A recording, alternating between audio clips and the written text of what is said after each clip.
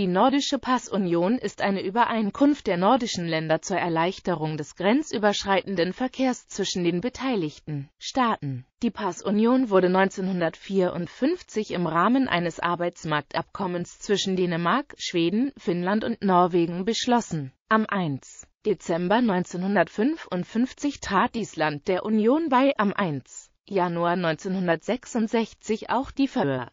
Ziel war es, Arbeitskräften zu ermöglichen, einfacher zwischen den Ländern hin und her zu wechseln und dadurch Personalengpässe und Arbeitslosigkeit zu vermindern. Durch das Arbeitsmarktabkommen, die Passunion und ein 1955 abgeschlossenes Sozialabkommen wurde den ausländischen Arbeitern in vielen Bereichen der Neustadt erleichtert. So erhielten sie im Gegensatz zu Bürgern aus nicht-nordischen Ländern leichter eine Aufenthaltserlaubnis und auch deren Sozialabsicherung war gesichert. Ab 1981 durften sie auch ab Erhalt ihrer Aufenthaltserlaubnis bei Kommunalwahlen teilnehmen. Mittlerweile ist eine Aufenthaltserlaubnis für Bürger aus nordischen Ländern überhaupt nicht mehr nötig. Lediglich eine Registrierung bei den Behörden wird verlangt. Am 1. Mai 1958 trat die Abschaffung der Grenzkontrollen endgültig in Kraft, wobei der Wegfall der Reisepässe beim grenzüberschreitenden Verkehr zwischen den beteiligten Staaten 1952 begonnen hatte. Von Anfang an beteiligten sich an dieser Maßnahme Dänemark, Schweden, Finnland und Norwegen. Island folgte am 24. September 1965 die Färöer am 1.